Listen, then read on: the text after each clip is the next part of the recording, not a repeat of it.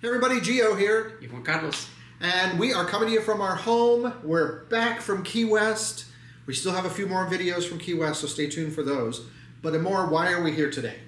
We are here today because this is October 2023, and October is the month of the LGBTQ history. It sure is LGBTQ History Month. Very cool. So, why is that important? Well, while we were in Key West, we had the opportunity to sit down with an amazing national speaker and tell them about the person that we spoke with. We spoke with Greg Baird. He's a great person. He speaks around the world about LGBTQ plus issues, and we had the opportunity to sit down and have a chat with him. We sure did. And we talked about all kinds of things. We talked about history, we talked about events affecting the LGBTQI community currently. Um, what else did we talk about? We talked about the, you know, the uh, amazing weekend that we had with the Out Loud group. We sure did. We had such a great time with Out Loud. Shout out to John and Brian and all other 27 men that were there. And most importantly, we talked about another event, an unfortunate event in the history of the LGBTQI community. And we want you to stay tuned all the way to the end of this interview with Greg Baird because we have a very special announcement at the end of this video. And it's something that you can do to help our community. So, whether you're part of the LGBTQI community or you're an ally of ours, we hope you find this interview very, very informative, very fun. What else can they find in it? A lot of information about, about him and us. Exactly. Some cool stuff coming up. So, stay tuned. Greg Baird, international speaker, sitting down with us in Key West.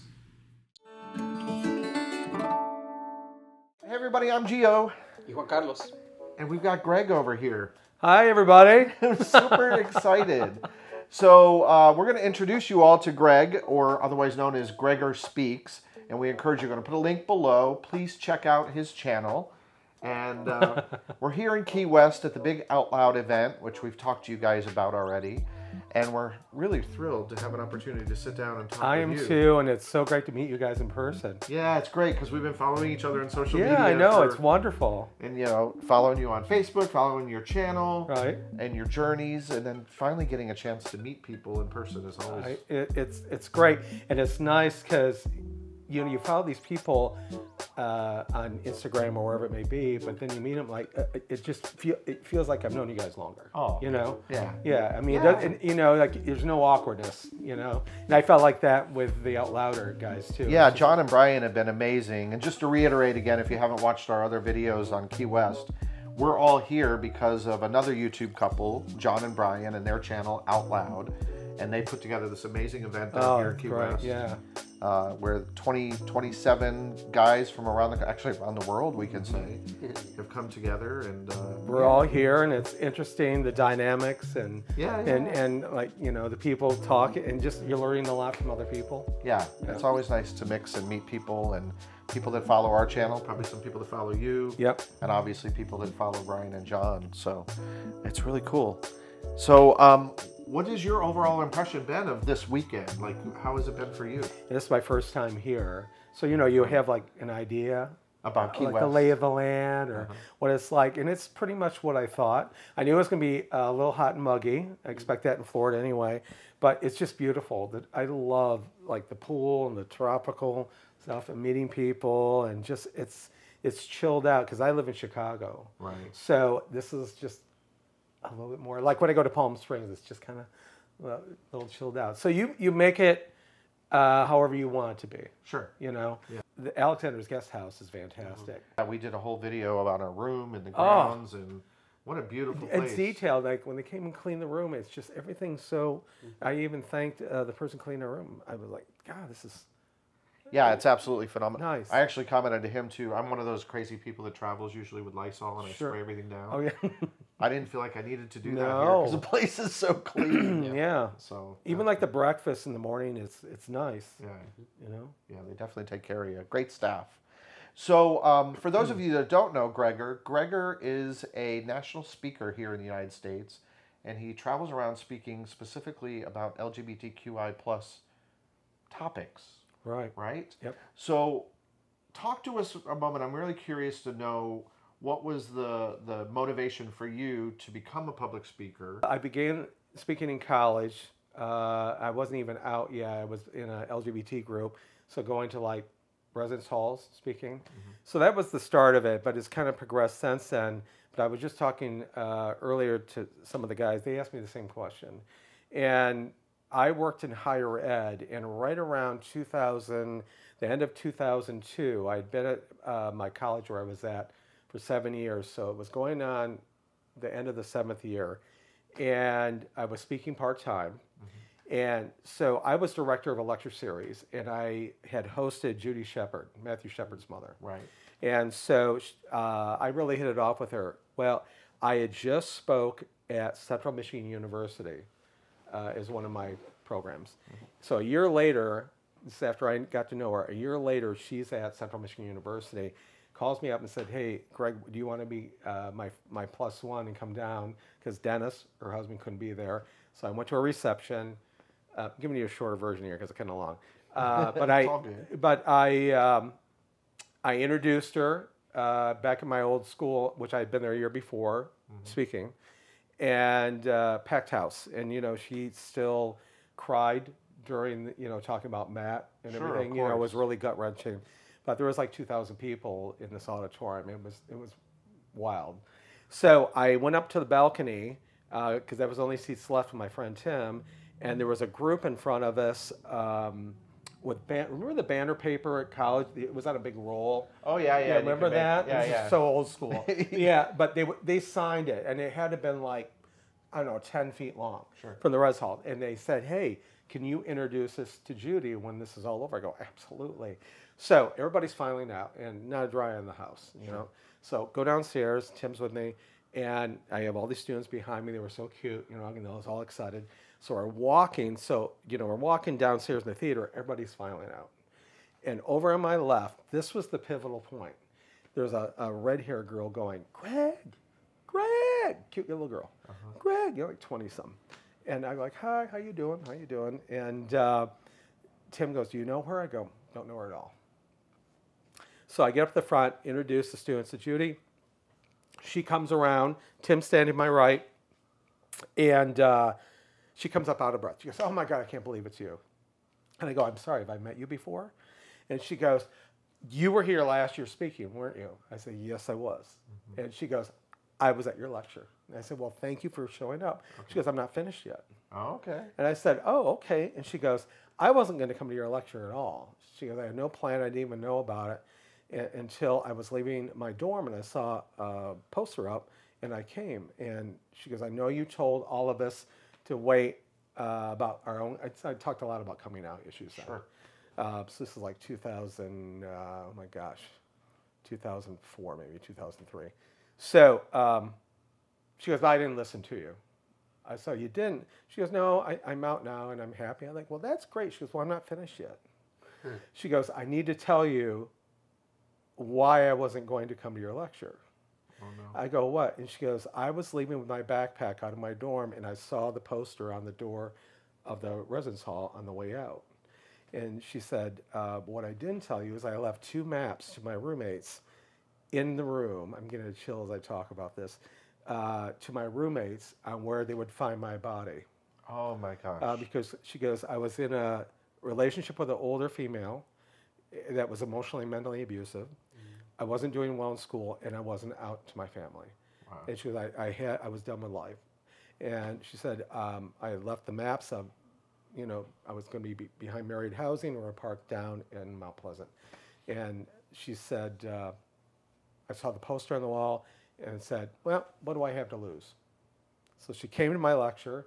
She said she loved the speech and everything. She goes, I know you told us to not come out right away or you make sure we have like a backup plan, Sure. you know, or support. She said, I didn't have any of that. I drove home right after the lecture.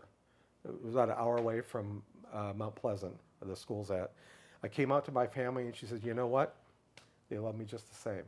She goes, I dumped the older female student and I'm graduating in two months. And I always said, if I ever saw you again, I want to thank you for saving my life. And I, oh, I, to this day, yeah. And my friend Tim was a Wow. puddle on the on the floor. I've That's never emotional. had anybody in my entire life say thank you for saving my life. And I looked at her, I hugged her, it, it was just and and what I didn't say is I was in the middle of kind of deciding if I was going to stay in higher ed or I was going to do this full time. Right.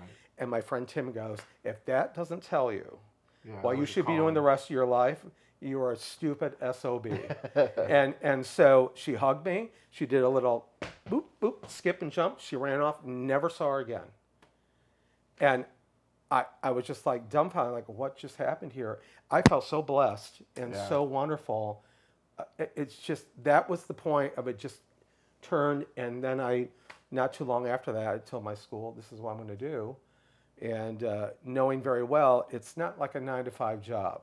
no. You know what I'm saying? I, and, and, and kind of when people don't understand you don't have that nine to five realm, I always get the question like, what do you really do for work? Right, You right. know? So I moved in, and it was hard. You know, the first um, year or two, you know, starting something new, and you know, I'm 62, so you know, I wasn't, I wasn't like 25 starting new, but yeah, I think about her often.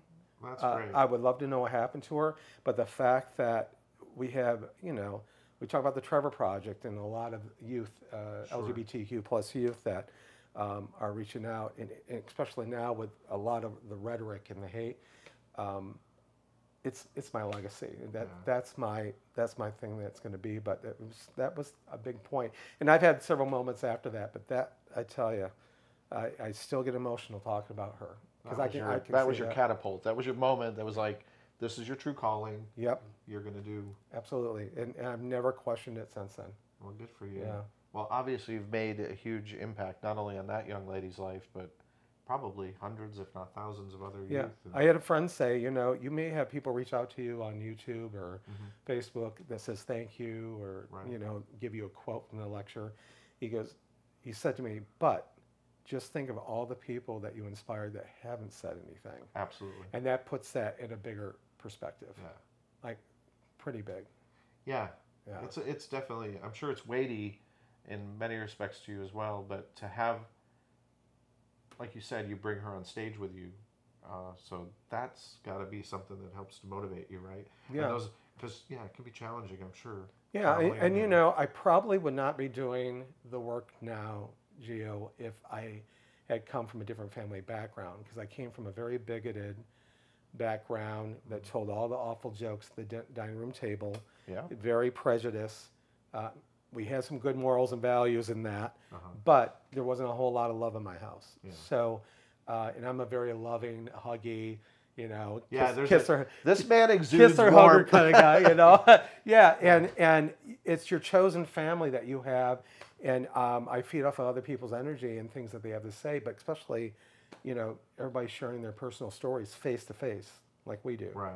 Um, that makes all the difference. It does make a difference, and hopefully for you guys watching, hopefully that impacted you as much as it did me. That's a really Thank you. powerful, powerful Yeah. testimony, powerful story. Yeah, I. Um, It- and what you're doing is great. So thank you for yeah. what you're doing. Thank you, there. thank you to both of you for. And I always refer, you know, it's interesting with um, Juan Carlos and I and the development of our relationship, and with him being from Costa Rica, you know, we've had many conversations because his upbringing, uh, LGBTQI in another country versus what we went through here in this country, Yeah. Has been completely different. So I'm curious from you getting to meet Greg. What are your like after the the time that we've spent and you've kind of learned a lot about LGBTQI issues? What would you consider, or what would you uh, be interested to know from Greg from his experiences? That's different than what I've told you, maybe. Any? Uh, mostly, like, what are the difference that you perceive within generations? Like, your generation, my generation, and younger generations. So I always say when I speak that the younger generation needs to spe- step up to the plate. um, and, and, and, you know, we grew up, no internet, no, I Right. mean, you know, we had a dial phone in my house growing up. My dated With a long cord on yeah, long cord that was stretched to like, there was no curl in it anymore. Um, I just feel we need to, to. uh, I think our biggest thing right now we have a problem with is the younger generation, the older, need to come together and share personal stories. Not, we do a great job on the internet. Sure. But it's the face to face. I want to hear you. I want to see what, have that energy. I'm big on energy. Um, but it's the younger people that I like to see get more involved uh, than being passive and just thinking like, well, I can do something on the internet and send it out, and that's my job. You need to be active within your community and and not be have any kind of ageism uh, or any kind of isms in being involved. Right. Um, but there's a there's a big difference, and they need to understand too. You know, we we don't talk a lot about our LGBTQ plus history because it's not very pretty, No, it's a very You know- long, challenging, dark, and emotional. probably for us, we need to have that kind of history spoken. Like when we were younger, I would love to know the achievements Right. of the LGBTQ plus community, and I never knew anything, you know. So you got to have uh, other people come forward, and the education for the younger folks to to know that history to move forwards. And a lot of stuff we need to know, not to repeat a lot of things, like the Pulse nightclub shooting. We don't want we don't want that to happen again.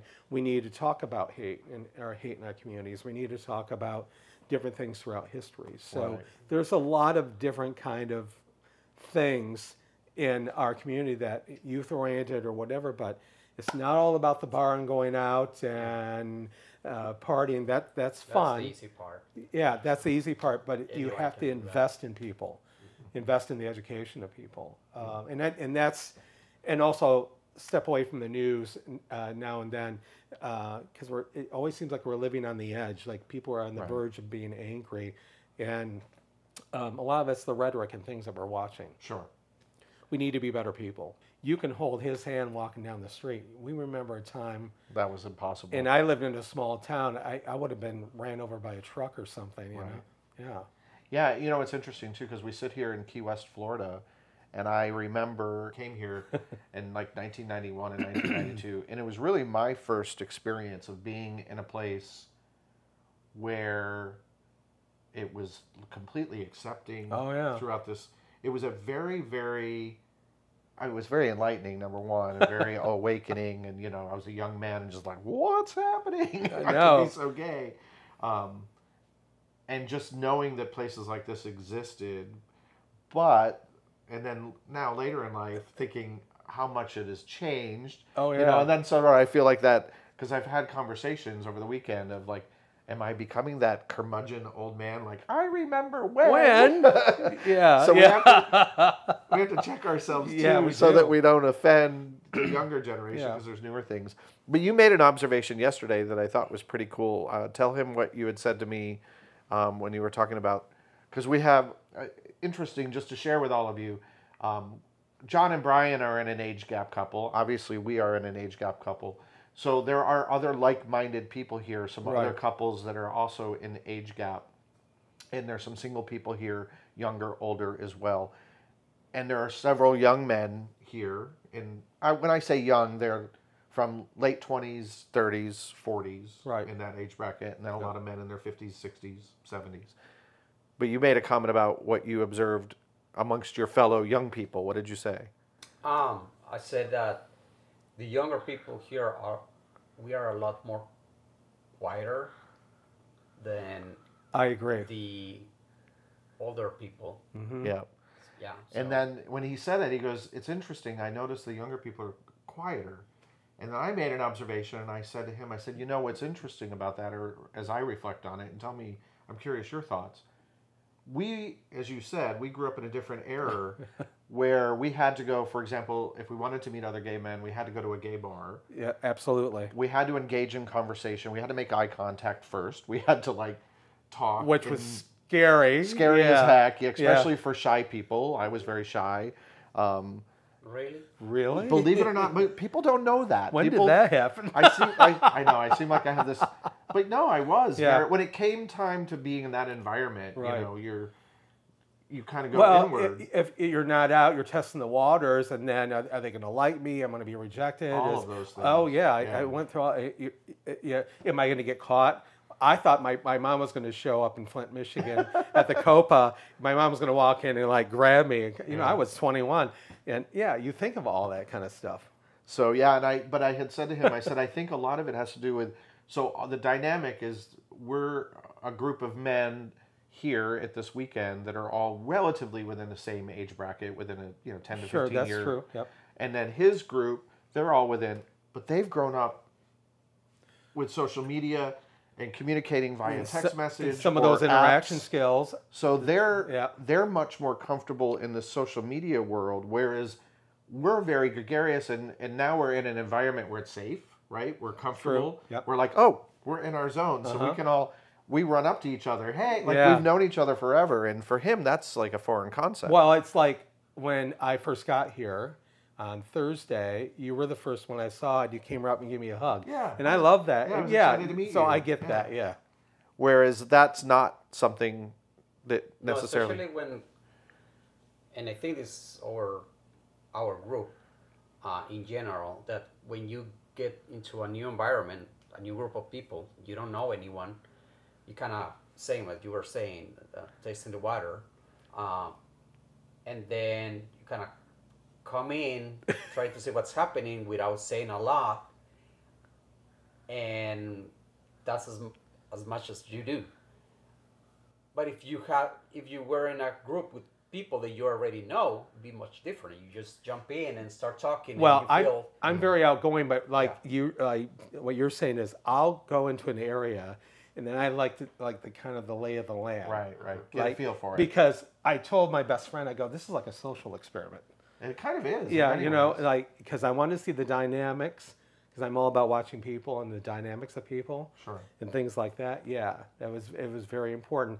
There's one thing that I wanted that uh, you had asked me a question that uh, I would like everybody to know. So when you're talking about younger and older um, differences, we have to also think about you know their ethnic background, Sure. where they came from, Yeah. religious background, things like that. And like just because um, maybe they're a cis white male or you know whatever heritage you have, you have to understand there's a lot of kind of uh, traditions and other things like you know spiritual or not. So there's a you know very a lot of layers. Layers, It's just not a cut and dry.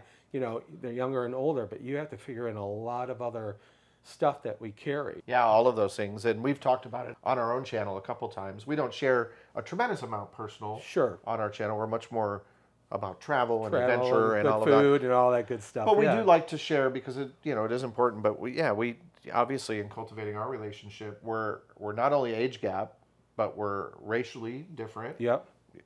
Latino, gringo. we're internationally different, so Mm-hmm. Yeah. we dated long distance for five years, That's going back and forth between, and then culturally, it was all of the cultures, the, you know, and I thought what was fascinating about that experience for us was that we gave each other the room, um, and that was early on. That Mm-hmm. once once I saw that in him, that he was giving me the space I needed, I gave him the space he, that That's excellent. and that's why we're together today because love we were that. able to. well, you have good communication. yeah, I Yeah. think that's important. I think it was key to try to not force someone else's culture or way to do things Yes. Mm-hmm. onto the other person. Yeah. If that's the way the way you do it, it's fine. And if I like it, I might be doing it that way, but also I have my own way to do it, Right. and I might just, you know, keep keep that with me. That's the way I do it. I'm gonna continue doing it that way. Right. And then we allowed each other and accepted those differences and found them ultimately to be strengths in our mm. relationship. See, isn't that great? Because- I think when people hear about differences, Yeah. they'll think it's they think it's a negative thing, and it's not. Because I, I think that's the biggest problem. Like even the United States or the world, you can see, is we often think of oh differences. You know, I'm I'm not gay or I live here or you know I don't get it. Well, you just have that communication and you have that un- understanding, and mm-hmm. you'll find out that your differences. There's more things that are alike than different. Right. And it helps you grow as a human. And ultimately, that's what you want in a partner or a lover or a relationship or a friend. You want people that are going to elevate you in life. Yeah, And you want to raise you up. people. Absolutely. And, um, And yeah, that's so wonderful that you guys had that because you had, if you look at it, you had, I mean, you know this, you had a lot of obstacles. Oh yeah, it would have been so easy to been like, great meeting you. That was fun. Right? Yeah, yeah. Go live your life. We'll keep in touch. Maybe we'll pass again. But there was something so strong that drove us to continue to. And I and I think that's wonderful for a lot of people when they watch your channel Yeah. that they see that because it's it's an inspiration for other folks. Yeah, straight or you know LGBT. You know what? Yeah. So yeah, you've touched on the the. It was one of the questions I wanted to ask you. What I'm curious with you traveling and talking with groups and uh, obviously young people and everything. What's the what's the one thing? Here we are in 2023. Sure. We know that there's so much turmoil. Uh, there's a lot of pressure, uh, you know, politically, socially, um, with regard to our community, and there's a lot of angst. I would say, Sure. you know, that we're sort of living on a edge again that I haven't seen See- since like the 90s, if you will. I agree. Yes. Yep. So what is what would you say is the one or two things that you feel are bubbling up to the surface right now that you think are the most important issues that we're faced with as an LGBTQI community today? Uh, understanding gender. Yeah. uh, and, and not confusing that with sexuality. Uh, and I always tell people if uh, if you, I'll run into people like I don't get the whole transgender or the non-binary. I just I don't want to know. I, I had somebody in a corporation, uh, friend, not when I was there, said I don't have time to instruct the people that work for me to put like in your uh, email your email signature. You know, he, him, his for Yeah, me yeah. that kind of thing. I, I don't have time. And that bothers me because uh, I'm all about inclusion. So the things that are bubbling up, gender would be uh, one, but then I think people are frustrated uh, on different states passing laws against the transgender community or the bathroom bill, like, oh my gosh, you know, or drag queen story hours, that kind of. We all need to just educate one another. I came from a prejudiced family, and I, my dad turned 95 yesterday. So we still talk about different things that he can understand. Uh, it's, it's a matter of sharing our stories and talking about, and, and even that we have our differences, to understand other communities. I don't do the whole, I'm going to tolerate you. Do you ever hear that? Like, Right, right. tolerance. I don't use that terminology. Okay. Because to me, for me, tolerance is you're putting up with something. Right. You know, like I go out, you guys go out to eat a lot. I go out to eat a lot. It's like having a child scream Oh, we love that. Eh, don't we? Eh, at a table, favorite. and you're like, oh, and the parents are doing anything like, okay, we're still going to sit here and tolerate that. So that's kind of my association. I hear you. You know, when I hear That's that word, I kind of cringe. You don't tolerate people. You understand them, and you understand those differences. Um, so, so you don't reach that boiling point. But uh, gender, you know, and, and having laws that protect us. You know, we're at 2023, and we're still talking about a lot of stuff, and we're going. You know, we feel like we could go 10 steps ahead, but then we're going backtrack. And we always have to know that there's hope. Right. You know, we're a human race. We can do better. I, I was going to ask you too, um, what do you think, if you could uh, just look back, what do you think your biggest hurdle was, other than the distance when it first happened? But what do you think the biggest hurdle that you. For the relationship? Mm-hmm. Yeah. Why don't you answer it, and then I'll answer mine because I think we. I think I know what his answer is. Okay, all right. Curious. Um, I guess the culture difference. Oh. Yeah. Because that's actually usually our, let's say, disagreements are more culturally based Okay. than age. Even though we Right. or he called our relationship a uh, age gap relationship, um, I don't see it that way. It's more like cultural differences. Yeah. Okay. Yeah, I think we're both on the same page there. So culturally, um, I think that was one of the biggest hurdles because I had been out and open and completely comfortable. Right. Um, and there was still a journey that he was going through when we first met. And I made a conscious Good way of putting that. Yeah. yeah, and I I made a because it could have been it would have been very easy for me to be like, okay, if you want to be with me, you need to tell everybody, right? Yeah, yeah, right. Um, but I told him it from the beginning. I was like, that's your journey. I'm here to support it. Mm-hmm. I'm never going to tell you what to do as it relates to that. Mm-hmm. But I'm not going to lie and say that internally I was like, okay, how long do we cultivate this that if we can't ever necessarily be on the same field? And there's not really a timeline there. and that Yeah, was the yeah, big question. So that was my struggle, and that was that was me. That's and I think again, that's cultural, Mm-hmm. right? Because we're so instant gratification here. We're so like, let's get it done, let's go. Um, the new and improved. Everything's got to be new and improved. right. It's like a All Tide commercial. and as he alluded to, um, I think I was more concerned about age gap than he was. Like he didn't see it. I didn't see it when we first met until people pointed it out to me. Because I've been in age gap relationships before, and everybody says, "Oh, you like the younger." Well, no. Let me let me put it this way. I'm about. I'm a big chemistry connection guy. Now, I like a good face. You, you guys have both beautiful faces. Oh, thank you. So I, I'm big on face, but the personality, the whole package, that's what I find attractive. I don't put a number on it, Right.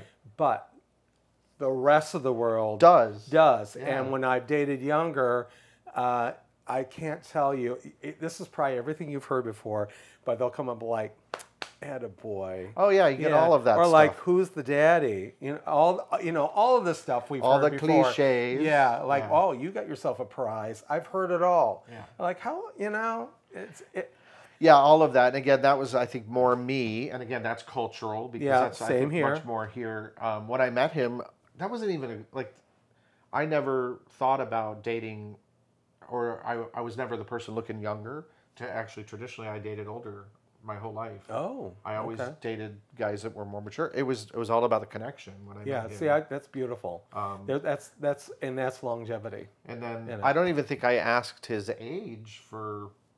Pro- I don't even know how long. To be honest, it was a while before I was like, "How old are you?"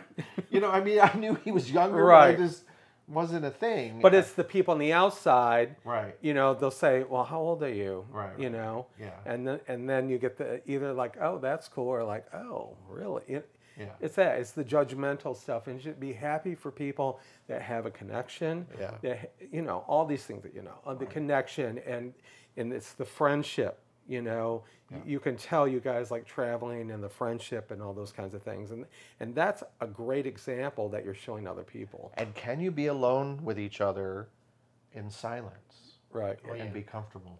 and you can And we can. yeah, Yeah. see that's great Yeah, and the funny thing, I, I don't know if you're aware of this. Be So very quiet. we, yes, he can be very quiet. I'm much more gregarious, as you could tell. But, yes yeah Um, we got married in uh, February of 2020. Oh, what happened my, in my March bir- of- my birth month. Oh yeah. So February 16th, we got married. By the middle of March, one month later, the country was, Yeah. the world shut was shutting down. Yeah. And uh, for the first year of our relationship, we had no choice but to really be. And for you to get through that time, both of you. yeah, Especially with that difference that I told you, he was 24 hours news. Because I was like, Oh yeah, you put that in there. I was obsessing Yeah. about the about He was- COVID. don't know was Did how that many drive you crazy? oh, it did. Yeah. I don't know how many videos of how to wash your hands until I said I cannot listen to one to another video of how, how you wash. Yeah. Washing hands, I know how to wash my hands since I was like five. Stop, please. Yeah, yeah. So it was it was definitely um, as uh, we, we always say, if we could survive that, we're to get we're we're good. We're I mean that. yeah. The, to be involved in a relationship and then that happens right. I mean, Right. oh my gosh, yeah. yeah. It was yeah. So anyway, all of that being Yeah, said, when I was trying to date, that was the worst time ever. yeah, I you know, you, you can't. I couldn't imagine being you single can't. You during couldn't that even time. date. I'm like, Thank oh. God I had him by my side to, to Yeah. keep me sane through that. Yeah, because being older, you're like, well, here's another year I have to give up. You know, Yeah, Something yeah. like that. Yeah, it was definitely definitely a crazy time. But uh, well, Gregor, I can't thank you enough for taking time. Thank you. I love us. talking to you. guys are great. Yeah, Yeah, thank been- you for taking the time. It's been informative. We appreciate Yeah. you watching as always. And here's something that I'm going to do that we never do on our channel, channel, and I think it's important. You've mentioned somebody's name twice during this interview, Uh-huh. and that's Judy Shepard. Correct. And those of you who are watching our channel, if you're not familiar with Matthew Shepard or the Matthew Shepard Foundation, I encourage you to do some research. So I'm going to put a link below, and I'm also going to put a link below to the Matthew Shepard Foundation. That's great. And if you feel inclined and you're watching our video with Gregor, reach into your pockets and make a little donation to the Matthew Shepard Foundation because it's one of the best organizations for LGBTQI, especially youth, and what they do here in the United States to help young people. And it'll be 25 years Yeah. October that that murder happened. It's crazy. Yeah. So yeah, and, and, you know we need to talk about our Yeah. history, and that's that's one because that changed a lot. Like um, even being the LGBTQ community was kind of like there there wasn't anything to get them out there. And when that I remember when that happened, um, hate crimes and all sorts of things uh, evolved in a positive way from that. Sure. Off of this awful tragedy, but there's Yeah. a lot to be learned there. So thank you for doing that. All right, we're going to wrap things up here. And again, we appreciate all of you watching. And as we always say on our channel, happiness is, A lifestyle. it sure is. And we are so happy. So thank you guys. And until next time, bye bye.